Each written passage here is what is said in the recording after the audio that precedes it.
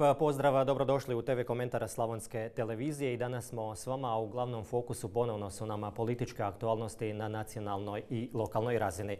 Koliko smo blizu novih parlamentarnih izbora u Hrvatskoj, je li situacija zrela za njih, kako se za izbore pripremaju u domovinskom pokretu i što bi mijenjali kada bi bili u poziciji, upravljati državom. Naš današnji gost je Mario Radić, zamjenik predsjednika domovinskog pokreta. Lijep vam pozdrav i dobro nam došli u emisiju. Dobar dan vama i vašim gledateljima. Evo, dosta je burno posljednjih dana i tjedana na domaćoj političkoj sceni, kao u ostalom uvijek uoči samih izbora. Je li to uistinu znak da su izbori sve bliže i jesmo li zreli za njih? Ja sam nedavno rekao na par i nacionalnih televizija da je po meni vrlo jasno da, da su izbori vrlo blizu. Jer evo mi sad u travnju mjesecu ćemo imati isplatu mirovina na način da su čekali do travnja, da se povišice za ožujak isplaćuju u travnju, ali istovremeno zaostaci za sjećanj i veljaču će biti također isplaćeni u travnju mjesecu. Naši umirovljenici koji spajaju kraj s krajem, to će biti ogroman financijski šok. Neće oni znati da je to samo tada i nikad više. Jer to je, znači ta, ta povišica će biti tri puta veća nego što je realna povišica. Jer dobit će za tri mjeseca odjednom. I onda od tog neke isplate od 10. travnja recimo, pa do nekog sljedeće isplate, tu će negdje biti vjerojatno izbori. Jer taj, taj šok, a kad bude bilo taj sljedeća isplata u svibnju, onda će taj, znači bit će za dva mjeseca manje, pa će ljudi vidjeti da to nije baš tolika povišica koliko su oni mislili da je. Tako da ja mislim da će biti izbori tu vrlo brzo, ukoliko se ne dogodi neka situacija koja je vidimo da je, kažemo, Laki je jako nervozan ovaj, oko Ministarstva kulture gdje jedan veliki europejac javno proziva europsko tužiteljstvo. Mi kad, kad je bilo to europsko tužiteljstvo, mi smo rekli da na taj način se e, veliki dio suvereniteta Hrvatske predaje u ruke. Sve zemlje nisu dale taj način da sve skupa radi. Ali evo moram reći da smo tu možda i pogriješili. Mislim da treba nama jedno neovisno, neovisno tijelo koje će tu neke stvari gledati i raditi, a vidimo da on nije zadovoljan sad s tim. On hoće da ima kompletnu kontrolu i ta njegova tvrdnja da su ti sredstva, da nisu isplaćene iz Europe nego iz državnog proračuna je skandalozna. To je skandalozna ova izjava. Znači mi pričamo o tome, da on, čak nije to rekao da nije to bilo grešaka i da nije bilo kriminala. Nego ako je državni novac, onda će biti naš državni DORH, to će imati pod kontrolom, a ovo onda ovo neće podržavati iz, iz tog razloga što nije pod mojom kontrolom. To je pokazao svoje pravo lice. Da, hoćete li reći da zapravo Andreju Plenkoviću više odgovara da te stvari idu preko nacionalnog zapravo DORH-a i ljudi za koje ima kontrolu, nego da to ide preko Europskog, Europske unije? To je on rekao. Mislim, ja, ja samo ponavljam ono što je on rekao. Znači, u tom trenutku one, i ta izjava da je Laura Koveši, da ko je ona, da nju ne zna. Mislim, on izgleda kao da neki portir tamo u Briselu, on mora sve znati, ima popis ljudi ko, ko ulazi, ko izlazi iz Brisela. Laura Koveši je pohapsila u Rumunjskoj preko 300 dužnosnika, što državnih ministara, ovakih, onakih. Tako da to je žena koja radi svoj posao. E, ja se nekad ne slažem sa postupcima Europskog tužiteljstva, ali u ovom slučaju dajem podršku potpuno oko toga. Tako da nek se ispita šta je to bilo. Jer pokazalo se to Ministarstvo kulture kao tako. Ja sad ne ulazim uopće u ovaj kriminalni dio. Ali evo bilo vam je taj prosvjed ljevice bio na Markovom trgu, pa je neka ovaj, Dana Budisavlje držala govor da je Ministarstvo kulture, da je kriminal, da je nepotizam. Pa ta Dana Budisavljević je dobila novce za film o Dijani Budisavljević koji je istovremeno bio prikazan i na RTS-u i na HRT-u u istom terminu gdje se blati od Stepinca pa nadalje, gdje oni sad vele važno brane tog istog Stepinca, a dali su novce za jedan dugometražni film koji ga pokazuje najmanju ruku vrlo upitnim. A da ne kažem nešto neku težu riječ. Da, smatrate li da bi Europsko tužiteljstvo u super izbornoj godini, da tako kažemo, u Hrvatskoj išlo do tih najviših razina, pa uključujući i premijera Andreja Plenkovića? A gledajte, mi živimo u državi gdje je 35 ministara je promijenjeno, više od pola tih zbog koruptivnih radnji. Ja više ne znam šta se kod nas, oni dalje govore o nekoj sigurnosti, o nekoj pradajni prava. Mislim, mi imamo ja ne znam da postoji država na europskom kontinentu, vjerojatno postoji neka afrička država gdje se to mijenja kako kome padne na pamet, ali na europskom kontinentu mislim da ono borio rekord. Borio rekord po broju ministara, po broju slučajeva koruptivnih. Ali gledajte, to je cijela ta situacija vam ide iz... To je vrlo jasna situacija kad zašto to nastaje. E, HDZ ko stranka prvenstveno živi na nepotizmu i na stranačkom uhljebljivanju. Stranačko uhljebljivanje ljudi koji se dovode na položaj. Prvo, to su ljudi koji su podkapacitirani. I druga stvar, to su ljudi koji dolaze da zarade, da uzmu novce, da, jer oni nemaju jednostavno, to su ljudi koji su bez karijere, bez nekakvih, velika većina, ima ljudi koji nije tako, nećemo sve generalizirati, ali to je nekakva glavna crta. I taj nepotizam stvara korupciju, a korupcija stvara kriminal. A kriminal, nakon kad dođe na pojav kriminal, kriminal ljude šalju u zatvor. To su oni sami sebi napravili, to nema veze s nama. Dobro, ali da li bi išli i do tih razina, do samoga premijera? Pa gledajte, ona je pokazala da je u stanju to. Pa je li bilo prvi put kod nas? Mislim, pa gospodina Sanadera su hvatali tamo po Austriji ko odbjeglog mačka iskoče. Mislim, to je kod nas sve već doživljeno, tako da ja tu ne vidim nešto novo. A da li bi išla? Vjerujem da da. A kako, ako treba ići. A kako vam se čini, evo, sam premijer Plenković i njegovo ponašanje, pokazuje li ona nervozu u zadnje vrijeme zbog toga? Pa mislim da nervoza je, eto, blagi, blagi izraz, jer ovaj, on kako se ponaša prema svima u zadnje vrijeme, prema, to je vrijeđanje bez pardona, to je e, njegova želja da stavi u fokus isključivo ono što njemu odgovara, isključivo što njemu odgovara, a ne gledajući druge strane da li je to stvarno u korelaciji sa realnošću. Pa evo ja sam neki dan bio na televiziji pa su skočili njegovi pingvini. E, Banovina, oni se dalje hvale Banovinom. Ljudi su tri zime, tri zime bili pokusni kunići. Znači tri zime, te ne volja zakon, te ne volja ministar, te ne volja ono, pa nisam ih ja stavljao, ti si ih stavljao. I sad su kao naši vele važan trenutak, veliko, se pita u ovoj državi, zašto je tek sad krenula obnova? Ja sam to pričao prije dvije godine, da će obnova krenuti pred izbore. Jel vi razumijete tu količinu neljudskosti, evo tako bi to rekao. Da vama neki ljudi žive u kontejnerima bez krova na glavom isključivo zato da kad dođe vrijeme rezanje vrpci, da bude što više vrpci za rezanje, jer vama to odgovara u izborima. Evo, to je ujedno i poruka našim ljudima na banovima i svima ostalima dok ova vlast je spremna ići. Da, idemo još riječ dvije o samim tim izborima evo, kojima smo očito sve bliže. SDP i Ljevica dakle, su digli aktivnosti na najvišu razinu. Oni izbore evo, isto traže odmah. Bio je dakle, taj prosjed Ljevice na Markovom trgu, a s druge strane, evo, kao što kažemo, HDZ i Plenkovićeva vlada su počeli dijeliti šakom i kapom. Dobro, Ljevica traži izbore, a Boga moli da ne bude izbori. Tako da ne znam šta bi ja rekao o tome. Ljevica je po priličnom rasulu. E, mi na ljevici imati situaciju koja jednim dijelom se može preslikati na desnicu. Možemo imati glavni cilj da ponizi i uništi SDP. Njima u novim izborima nije glavni cilj doći na vlast. Ostalom, oni bi sad najrađe nisu na vlasti u Zagrebu kad se vidi šta su sve radili. Tako da će tu teško doći do nekakve koalicije i ljevica na ovaj način teško može doći na vlast. E, njima jedini način doći na vlast je preko mosta, koji s druge strane isto na desnoj strani gleda samo da da naudi domovinskom pokretu, ne mogu već uništiti, ne mogu ne uništiti domovinski pokret. E, tako da imamo dvije stranke koje realno ne žele vlast. Sad mi pričamo o nekoj osnovnoj, osnovnoj matematici političkoj. Ako imate na ljevici možemo, kao neki osigurač ne može ljevica doći na vlast, a s druge strane imate most koji isto tako ne želi doći na vlast, nego želi biti neka vrsta osigurača na desnici. Imamo dvije stranke koje, pa to vam je kao da ne znam, evo imate NK Osijek, a ne želi se takmičiti u prvoj nogometnoj ligi, nego će igrati samo prijateljske utakmice i kad bude nekakve prigodne, prigodne seoske zabave da istrče van i to je to. Ja ne razumijem da neko može biti u utakmici, a ne želiti doći na vlast. Mislim da je srž politike doći na vlast i mijenjati ljude. Šta ljude zanima nečija fotelja, moja ili bilo čija druga. Ljudi hoće jednostavno da daju glas onome ko će promijeniti stvari na bolje. A nama imamo dvije stranke koje javno govore da ne žele. Mislim, MOST govori ideološki moratorij, sad vidim da SDP ih zove, da je Benčićka rekla isto da bi mogli nekako, ali to je po meni, pa nek idu s njima, nema veze. Da, kome to najviše odgovara, dakle, HDZ-u vjerojatno? Pa to najviše odgovara HDZ-u. Pa možemo reći isključivo i samo HDZ-u to ne može ni SDP odgovarati. Da ima jednu stranku koja je na njihovom spektru, koja jednostavno ne želi ići na vlast.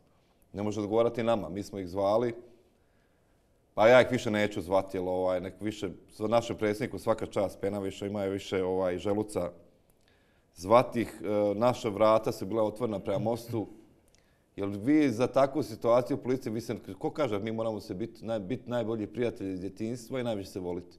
Ako mi zajedno dobijemo 10 mandata više i podijelimo te mandate na način kako, kako se dogovorimo, to je win-win situacija. Neko ko ne želi mandate uzeti sebi, a pa će ih prepustiti e, možemo ili SDP ili HDZ-u, taj je zalutu politiku. Zašto je situacija takva kakva je na tom lijevom spektru? Zašto nemaju tu nekakvu jaču snagu? Evo imali su za taj prosvjed, okupilo se koliko? 7000 ljudi na Markovom trgu. Da. da, vi ste imali prošle godine isto također vladin prosvjed, organizirali ste ga samostalno, imali ste desetak tisuća. Po deset tisuća je bila brojka oficijalna, mislim, to nije, i prebrano je bilo preko deset tisuća ljudi. Pa gledajte, znači ako mi kažemo 11 stranaka 7000 ljudi, na Markovom trgu, na sunčano prije podne u subotu, pa ja da sam njihovom mjestu, ja se ne bi s tim hvalio. Ja bi si možda savio glavu u pjesak i šutio o tome. Mi smo pokazali svoju snagu u jednom slavonskom brodu, koji nije Zagreb, koji nije neki domicilni naš, naš teritorij, a taj njihov prosvjed, ja tamo fakat nisam čuo ništa osim nekih urlika i Plenkoviću odlazi i dosta je i čega. Ništa tamo niko nije imao neki govor, za razliku od našeg prosvjeda, gdje su pa evo, nećemo reći nas, par dužnosnika, neki Slobodan Presperov Novak imao govor koji je pušten po društvenim mrežama, gdje koji ima na, na desetine tisuća i pregleda i lajkova, gdje smo dali neki smisao. Jednostavno, mi smo tada taj naš slogan Ustani, ostani, stavili smo ga u prvi plan. To će ujedno biti nama i slogan kampanje, mislim, o čemu mi pričamo. Mislim, to je nešto što je Hrvatskoj neupitno potrebno. Ja kod njih tamo nisam vidio ništa. One, one pesnice, to je prije sto godina bilo, mislim, to su nekakvi recidivi prošlosti. I meni je malo i žao te ljevice, budem iskren. Ja ne mogu vjerovati da ta ljevica još uvijek živi u nekom titoizmu, u nekakvim totalitarnim režimima. Pa mislim, Hrvatska je već 30 nešto godina. Taj ko žaluje za Jugoslavijom i za komunizmom i samoupravljanjem ko što Katarina Pejović, ja mislim da su oni zalutali vremenu i prostor. Evo. Ja bih volio da postoji neka stranka socijaldemokratska, ali da ima nacionalni preznak. Da, mi kad gledamo oko sebe, postoje sve neke lijeve stranke, a lijeve stranke su i u Mađarskoj, i Austriji, i Sloveniju, to su stranke koje gledaju interes mhm. Slovenije, interes Mađarske, da ne kažem Srbiji, Srbiji ne postoji više oporba, bilo kakva. Ali kod nas u Hrvatskoj ljevica jednostavno, ja to razumjeti ne mogu, ali to je nažalost je. Ljevica je jednostavno protiv, primarno protiv države u kojoj, prima plaću u kojoj živi. Da, zašto je to tamo, tako? Evo, što se, zapravo što se krije iza svega toga? Riječ je o mlađim ljudima koji nisu praktički ni živjeli u onom sistemu i vremenu. Ne znam, evo, naš, naš predsjednik gradske organizacije Igor Petrinele je bio na uh, Trnjanskim kresovima prošle godine.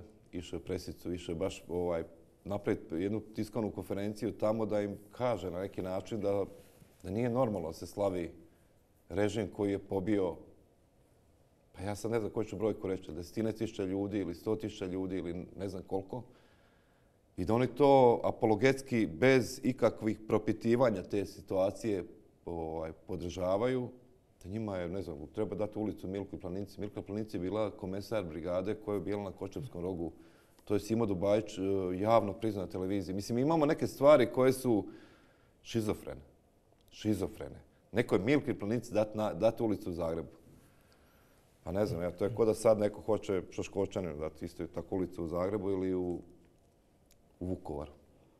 To je situacija koja je e, šizofrena ja te mlade ljude ne mogu razumjeti, jer te sve njihove ideje, sve njihove ideologije, oni se zalažu za LGBT prava i zalažu se za režim druga Tita. Pa evo ne znam, ja sad da kažem, znači režim druga Tita je proganjao te iste, koji si želi ta prava. Kako može te dvije stvari spati u nešto nespojivo, to meni jasno. Ali to je njihov problem, tako da ne želim ja njihove probleme rješavati. Koliko toga ima u dijelu HDZ, odnosno u samome vrhu uh, vlasti?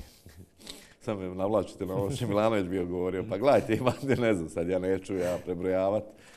Ovaj, nije mi to...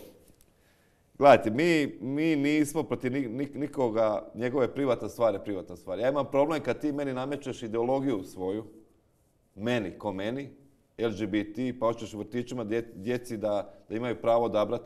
Pa mislim, dijete od šest godina hoće biti Batman i Superman, a ne, ne muško i žensko. I ti na taj način nekome sa šest, sedam godina hoćeš dati mogućnost da on izabere hoće biti nosorog žena, muškarac ili Batman.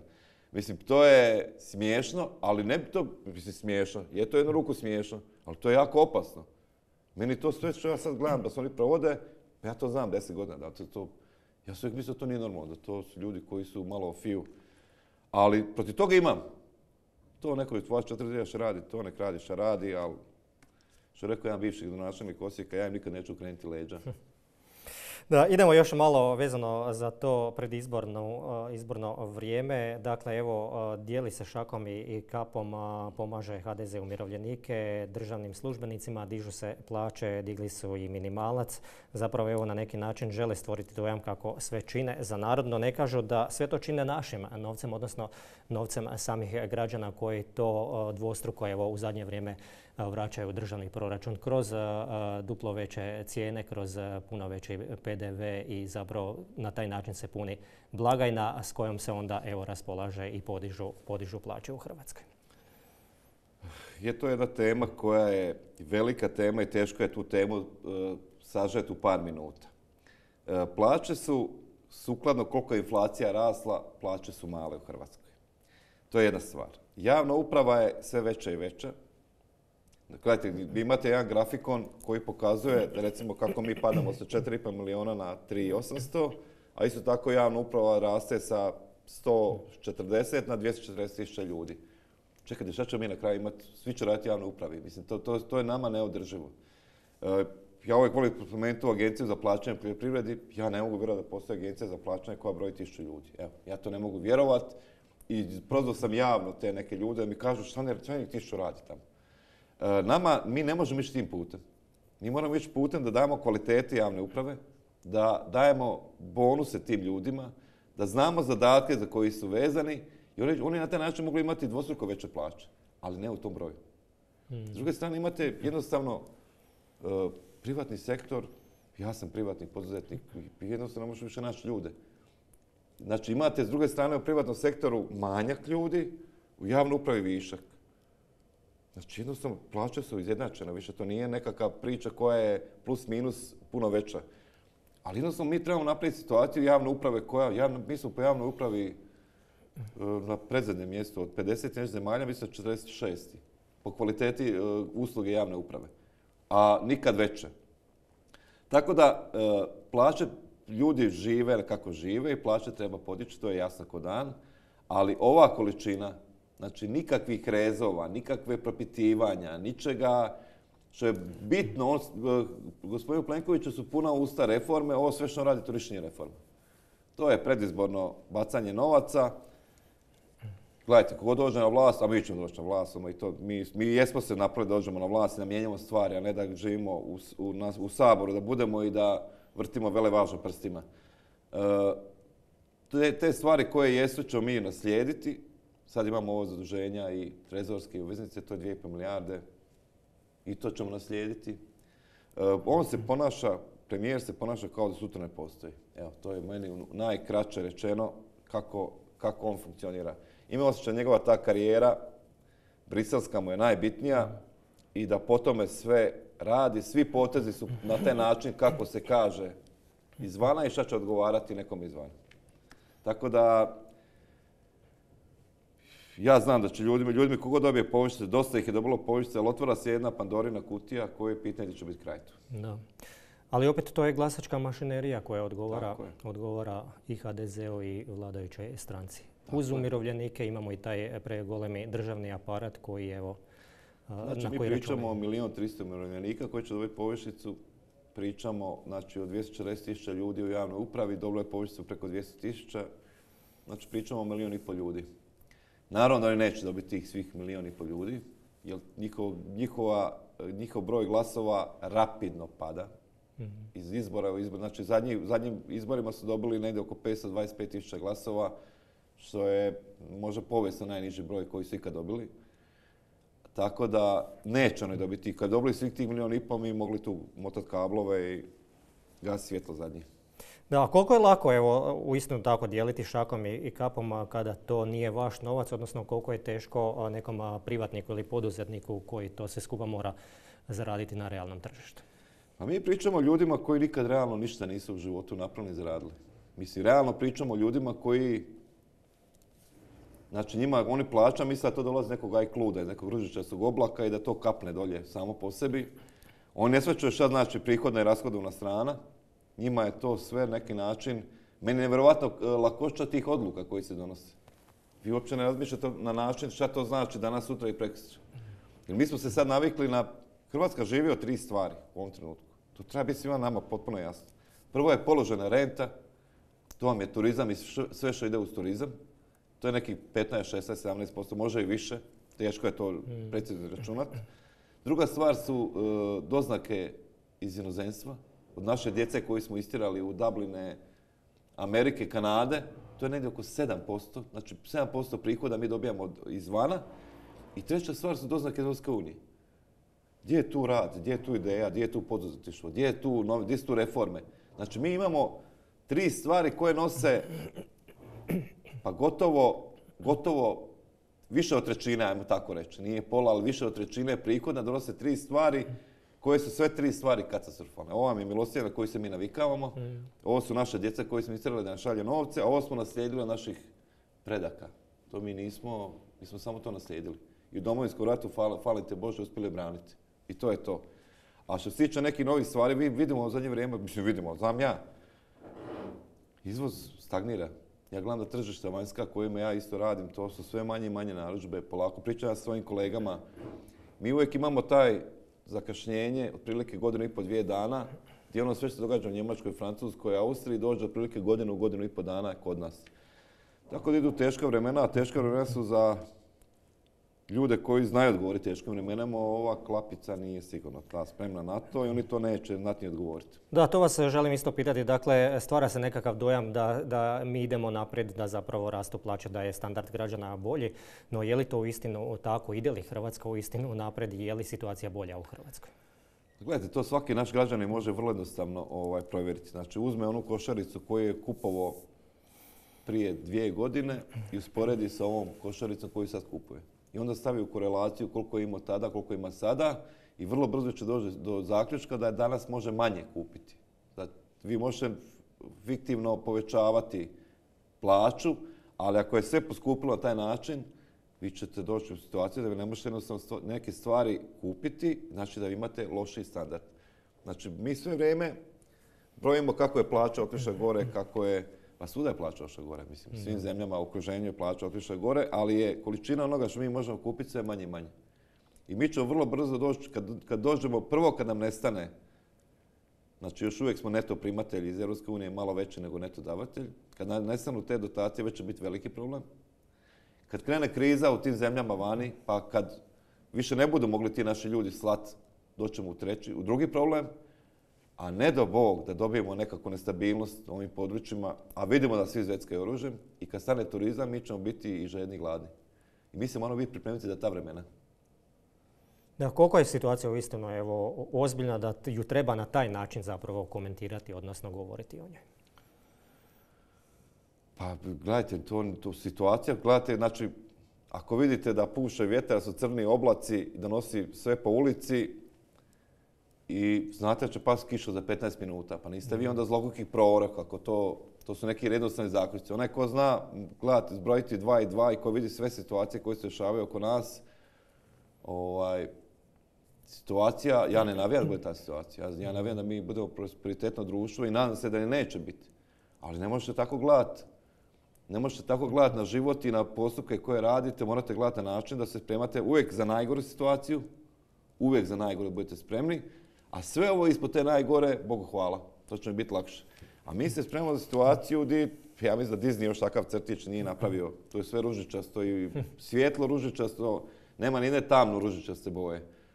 Pa mi, naši građani još uvijek nisu osvijestili jednu situaciju, da između rata u Ukrajini i Hrvatske stoji samo jedna zemlja, to je Mađarska. Mađarska graniči i sa Ukrajinom mm. i sa Hrvatskom.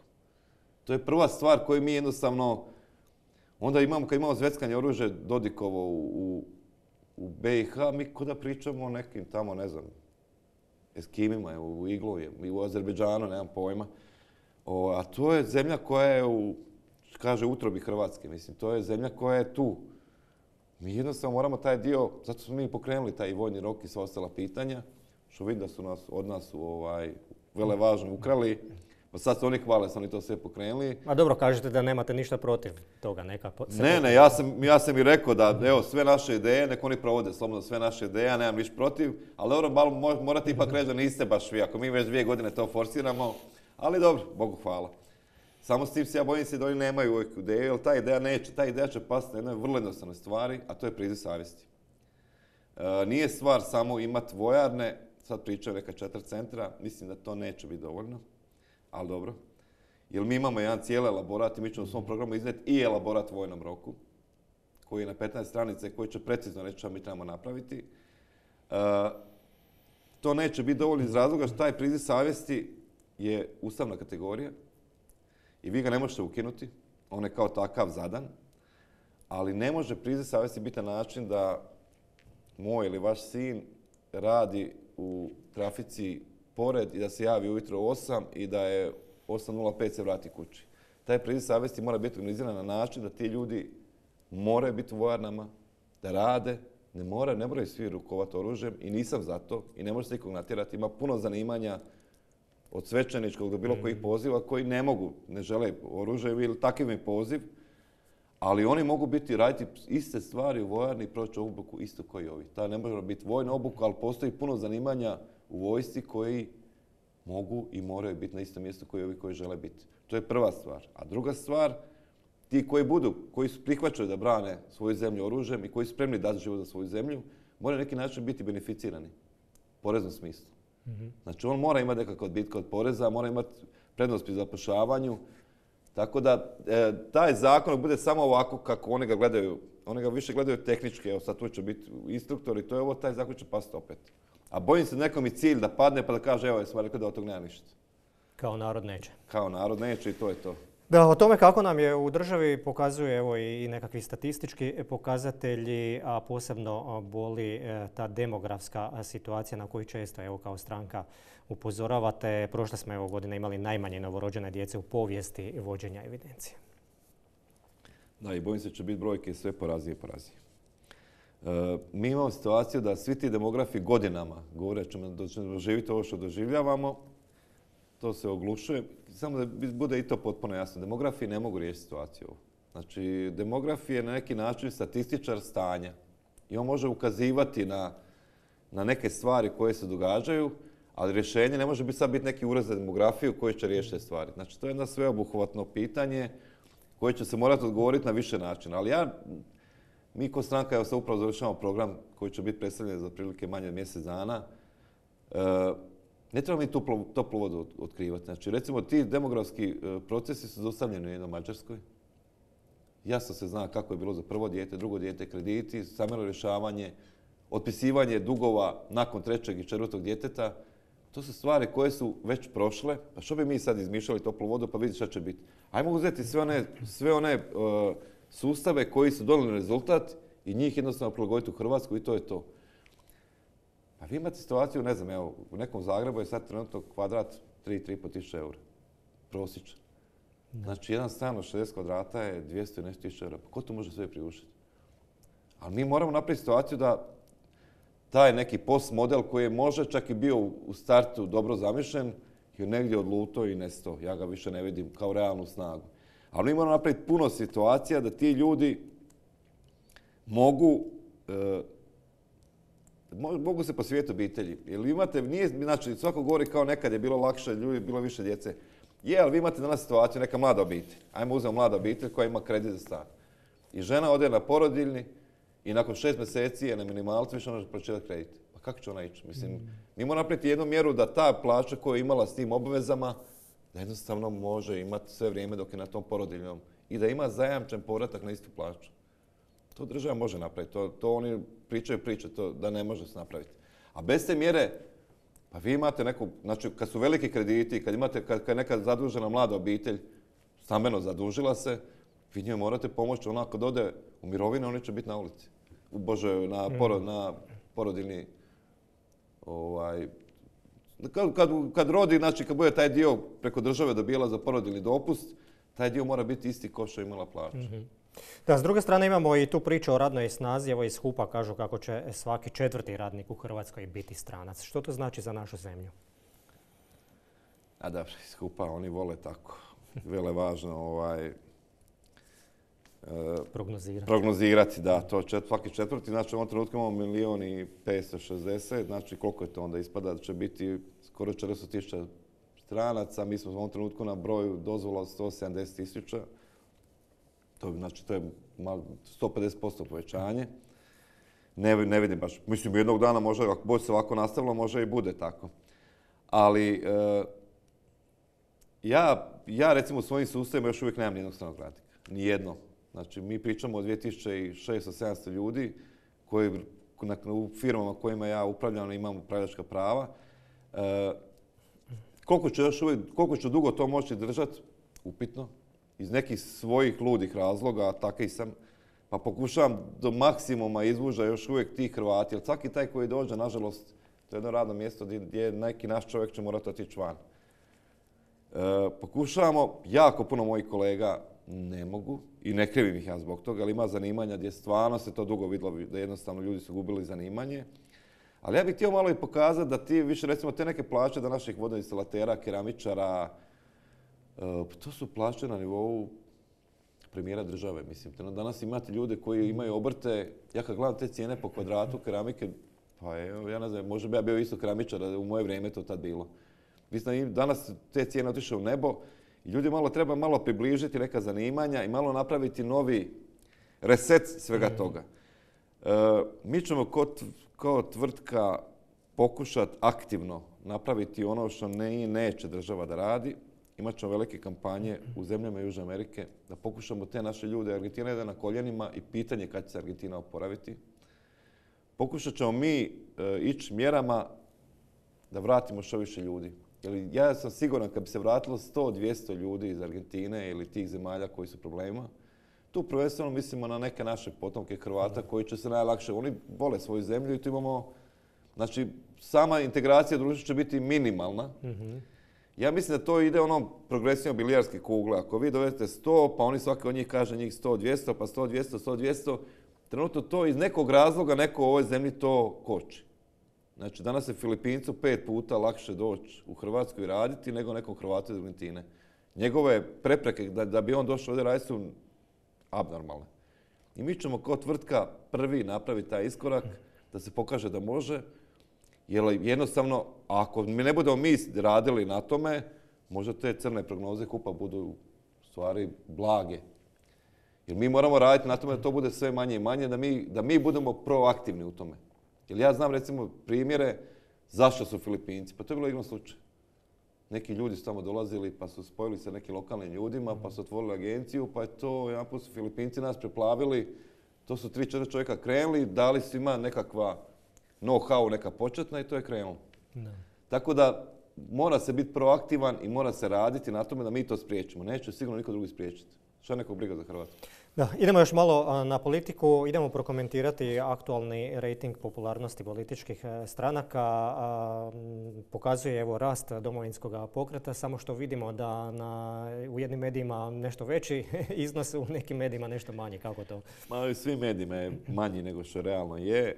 Naši politički neprijatelji ili suparnici, nazivaju neprijatelji, znaju dobro da je domovinski pokret u većim brojkama nego što se pokazuje i znaju da je, da da je broj zastupnika značajno veći od svih ovih koji su tu negdje oko nas po tim rejtinzima. E, tako da mi, mi ko stranka jačamo, pa mi to vidimo i kroz članstvo nama svaki, svaki tjedan narastuje članstvo od 100-150 ljudi. Pa ne bi ljudi prilazili nama da ne misle da smo mi snaga koja, će, koja može neke stvari promijeniti. I, a što se tiče tih rejtinga, taj je bio zadnji rejting na, na ovaj, čini mi se, Nova TV, mi smo imali taj slučaj koji je možda malo prošao ispod radara da je sin Mileta Matića, direktor Novoj TV, vidim da niko od, stranaka nema hrabrosti to reći. Jer svi se boje za mrvice sa Kastorovog stola. Jer ako kaže, onda ih neće zvat. A ja mislim da istina je jedna i uvijek treba biti jedna istina. I ne bi trebalo biti nenormalno da sad nije dijete krivo što roditelj radilo. Ali taj isti čovjek je na Facebooku pisao što je pisao i veličao je svog oca i sve što je napravio. I nije mi normalno da takav neko radi u medijskoj kući koja je, pa po nekim istraživanjima čak i vodeća u Hrvatskoj. Tako kad ga gledao iz tog ovaj, kuta, super su nam i dali. Ja se, ja se iznenadio da nam je toliko... Mi smo uvijek najmanji u toj medijskoj kući, uvijek imamo najmanji rezultat. Tako kako budu sad išli izbori, mislim da ćemo mi tu imati sve manje i manje. Da, čudno je to kod Mi njih. bi je mogli pasti, ako ima neko onaj minus, znači ne da imamo, ne znam, 8, 9, nego da imamo minus 3, ako može to da nam, da nam daju. Da, tu ste prešli e, prag, ali, ali e, stvarni... Pa gledajte, znate šta, čemu se tu radi? Oni će uvijek nama dati minus 3 pa 4% onog što imamo. Eto, to je ona granica gdje, jer te sve me- e, kuće ankete rade na način, to su kuće koje imaju franšizu i oni uvijek gledaju da ne mogu baš, ali tu tih 3,5% uvijek mogu slagati. Tako da smanjite uvijek HDZ-u s 3,5%, dodajte domovinsko pokret otprilike 3,5% pa će imati nekakve real- realne rezultate. Da, idemo još vrlo kratko e, prokomentirati situaciju na regionalnoj i lokalnoj razini. Kako tu stojite? Imate li nekakva svoja interna istraživanja i evo kakva je situacija konkretno možda u gradu Osijeku? Pa mi ćemo sigurno, ovaj, što se tiče parlamentarnih izbora u četvrtoj, braniti rezultat koji smo imali. Mi ćemo pokušati napraviti više. Mi prošli put smo imali tri ovaj, saborska zastupnika iz ove jedinice. Ovaj, ja se nadam da će biti bolji rezultat. E, malo je, je malo nezgrapna ta jedinica. Stvarno treba to prehodati. Sad su im pro- 300 produžili još. Produžili su je, malte ne do, do Austrije ide. ovaj, tako da, ali Bogu, Bogu, Bogu hvala, teren će biti za sve iste. Vidjet ćemo kako ćemo ovaj, djelovati. Mislim, realno, jedine dvije stranke u našem gradu su HDZ i Domovinski pokret, se ne lažemo.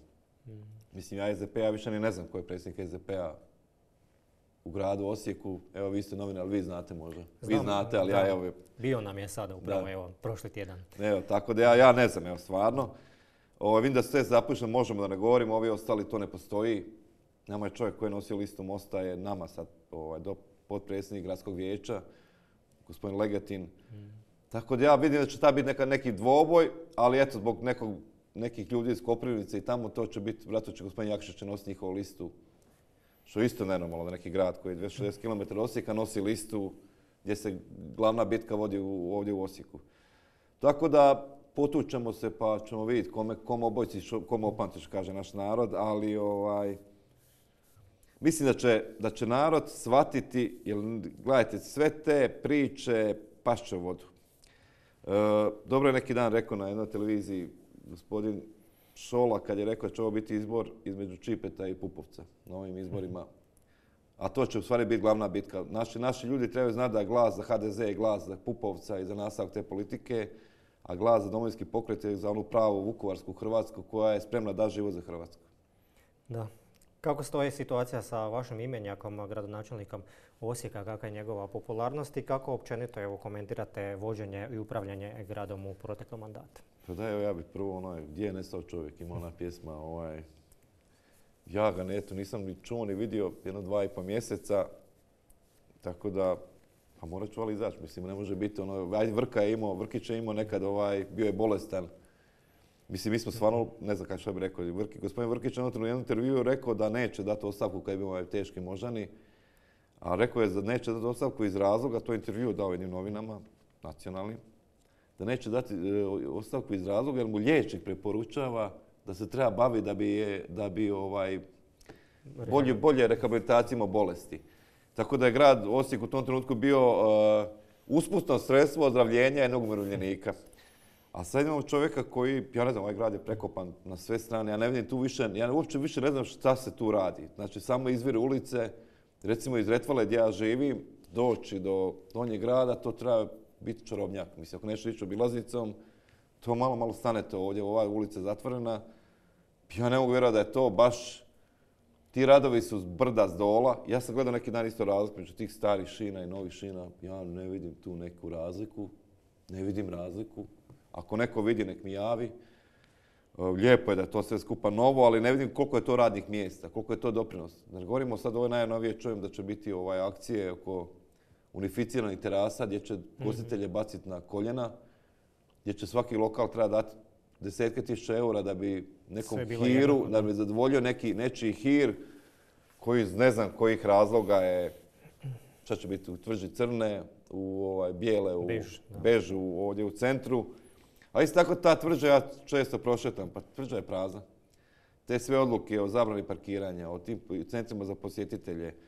Grad kao da je odlučio uništiti tvrđu kao neki, neko gradsko okupljalište. Ja sve kad odem prošetam na večer, to je nigdje nikog nema. Da, evo isturilo nam je vrijeme, možda zaključno evo u jednoj rečenici doslovno što znači glas za domovinski pokret na sljedećim izborima. Pa glas za domovinski pokret za Hrvatsku koja će biti prosperitetna, Hrvatsku koja će biti samosvjesna, koja neće slušati diktate ni iz Brisela, ni iz Beograda, ni bilo da gdje. I glas za domovinski pokret će biti glas za onu Hrvatsku koja u svima nama spava i čuči i koju svi mi znamo za tu Hrvatsku koja je bila spremna nekad dati život za svoju zemlju, a to se negdje među vremenu izgubio. Izgubio se taj domovinski duh koji mi stalno ponavljamo i mi ćemo biti koji ćemo probuditi taj domovinski duh. I ako ne budemo probudili domovinski duh, ne budemo išli naprijed, bojim se da nas neće biti. Evo, s tim ćemo i završiti i zaključiti ovaj naš razgovor. Hvala vam puno na gostovanju. Hvala vam. Hvala i vama, poštovani gledatelji. Evo, pratili ste još jedan TV komentar. Doviđenja do novoga susreta.